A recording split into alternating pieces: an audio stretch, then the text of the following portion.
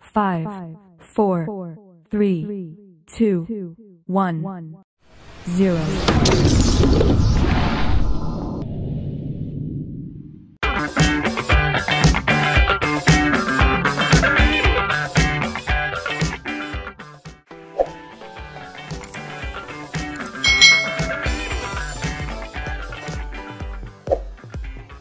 Hi, hi, hai Selamat datang di channel youtube Kak Citra.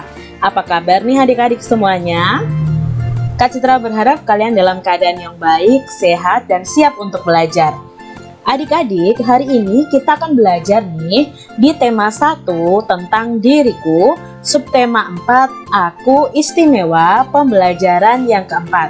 Mari adik-adik semuanya kita belajar dengan penuh semangat Udin dan teman-teman bermain menelusuri jejak. Tiap kelompok berjalan bersama-sama. Siti dan Udin berdiri paling depan. Sikap berjalan Udin dan Siti paling lentur dan seimbang. Yang lain mengikuti di belakangnya. Kemampuan setiap anak itu berbeda-beda Nah, di sini Udin dan teman-temannya sedang bermain menelusuri jejak adik-adik. Mereka bermain secara berkelompok. Siti dan Udin kebetulan yang berada di paling depan. Karena Siti dan Udin ini paling lentur dan paling seimbang daripada teman-teman lainnya. Setiap kita diciptakan mempunyai kemampuan yang berbeda-beda. Kelompok Udin berhasil mencapai tujuan akhir. Kelompok Siti ternyata tertinggal di belakang. Siti, Dayu, dan Lani tidak kecewa. Semua anak istimewa. Nah, dalam permainan ini ternyata kelompok Udin yang menang adik-adik. Mereka yang mencapai tujuan akhir paling awal nih. Nah, kelompok Siti yang tertinggal di belakang. Siti, Dayu, dan Lani tidak kecewa, bahkan mereka tidak marah. Karena setiap anak itu diciptakan istimewa dan memiliki kemampuan yang berbeda-beda. Nah adik-adik, kalian bersama teman-teman kalian itu pasti memiliki kemampuan yang berbeda-beda pula. Jadi kalian harus saling menghargai dengan setiap keistimewaan yang dimiliki oleh teman-teman kalian. Menyebutkan kata. Lani suka mendengarkan cerita. Kelebihan Lani adalah mengenal banyak kata. Tirukan kata yang disebutkan Lani. Nah di sini Lani sedang membaca dan suka menyebutkan kata-kata yang dia pelajari. Ayo kita baca bersama-sama kata yang diucapkan oleh Lani. Kata yang pertama adalah ini. B A C A Ayo adik-adik dibaca apa ya ini ya? Ya, baca. Ayo tirukan. Baca. Ya. Lalu kata yang kedua yang diucapkan lagi adalah K A C A. Ayo tirukan. Ya, K A C A. Dibaca kaca. Kata yang ketiga adalah P-I-P-I Dibaca pipi. Ayo adik-adik tirukan. Ya bagus sekali. Dibaca pipi. Lalu kata yang keempat adalah ini. G-I-G-I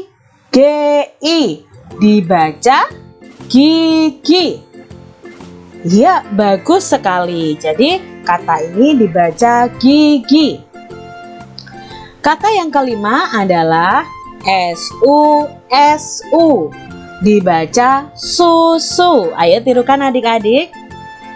Ya bagus. Dibaca susu. Kata berikutnya adalah K-U-K-U Dibaca kuku. Ya kalian pintar. Jadi ini dibaca kuku. Lalu berikutnya ada M-O-T-O-R dibaca motor. Iya, bagus ya, dibaca motor. Kata berikutnya adalah K-O-T-O-R. Dibaca kotor. Ya, bagus dibaca kotor. Kata berikutnya adalah B E B E K. Dibaca bebek. Bagus adik-adik, tirukan terus ya apa yang Kak Citra ucapkan. Lalu kata berikutnya yang dibaca Lani adalah B E C E K. Becek. Ya, bagus sekali. Becek. Yuk kita ulangi lagi bersama dari kata yang pertama. Baca. Kaca. Pipi. Gigi. Susu. Kuku. Motor. Kotor. Bebek. Becek. Ya, pintar kalian. Siti suka mengumpulkan gantungan kunci. Dayu bisa membuat gantungan kunci. Dayu membuat gantungan kunci untuk Siti. Gantungan kunci boneka dari kulit jagung. Dayu berbagi melalui kelebihan yang dimilikinya. Jadi Siti itu suka mengumpulkan gantungan kunci. Dayu mempunyai kelebihan bahwa dia itu bisa membuat gantungan kunci dari kulit jagung. Nah adik-adik kemarin kita sudah belajar membuat uh, hiasan untuk pensil kita dari kulit jagung. Nah hari ini kita akan belajar membuat gantungan kunci dari kulit jagung. Mari kita membuat boneka kulit jagung. Pertama, siapkan kulit jagung yang sudah kering. Ya, adik-adik, siapkan ya kulit jagungnya. Lalu bentuk menjadi boneka seperti ini, seperti kita membentuk uh, untuk hiasan pensil yang kemarin. Jadi kalian bisa kasih rambut-rambutnya ya dari rambut-rambut jagung yang sudah dikeringkan juga. Setelah itu langkah berikutnya adalah lem setiap bagian boneka. Jadi kalian lem tuh dari bagian kepala, badannya, tangannya, rambutnya dilem menjadi satu. Setelah itu pasang gantungan kunci di bagian kepala. Jadi ini adalah besi untuk gantungan kuncinya. Jadi adik-adik bisa minta tolong kepada ayah atau ibu kalian untuk mendampingi kalian membuat gantungan kunci ini. Demikian adik-adik pembelajaran kita di tema 1 subtema 4 pembelajaran yang keempat. Semoga video pembelajaran ini bermanfaat ya adik-adik dan adik-adik bisa belajar dari rumah kalian bersama orang tua kalian. Sampai jumpa lagi di video pembelajaran selanjutnya. Tuhan memberkati. Jangan lupa tekan tombol subscribe, lalu tekan loncengnya, tekan juga tombol like, lalu share ke media sosial kalian. Jangan lupa untuk ikuti media sosial Kak Citra. Terima kasih.